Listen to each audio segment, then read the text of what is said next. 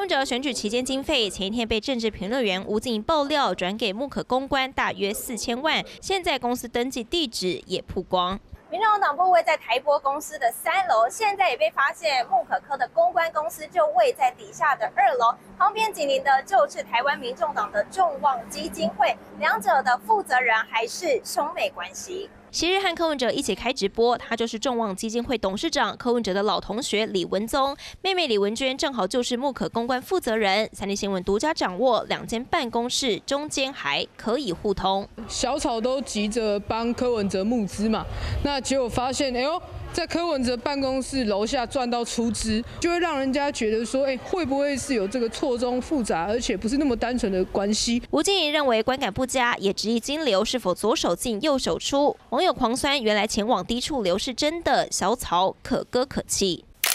但竞选期间，民众党幕僚陈志涵跟徐府都有颇文宣传募款小物，还附上专属折扣码，也被传出木可在贩售时，干部如果帮忙宣传可以抽成。但陈志涵回击，小物制作跟行销本来就有成本付出，遗憾有心人士故意爆料。但从政治现金也发现，柯文哲选举期间给另一间尼奥创业行销公司三千多万宣传经费，也被质疑是照顾自己人。这尼奥公关公司的老板是三姐妹，就跟黄珊珊的姐妹。外界质疑是不是透过选举经费来让自己人获利？民众呢以穿凿附会回应外界连两天质疑，但跟公关公司的千丝万缕，不知小草看了感想如何？参选陈者徐全台北采访报道。